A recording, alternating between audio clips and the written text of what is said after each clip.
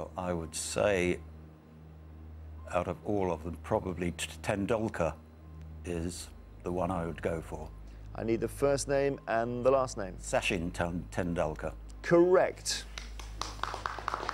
Well done. Great stuff. Okay, sudden death, Barry. Which English athlete won the men's 100 metres gold medal at the 1993 World Championships? That sounds like Alan Wells.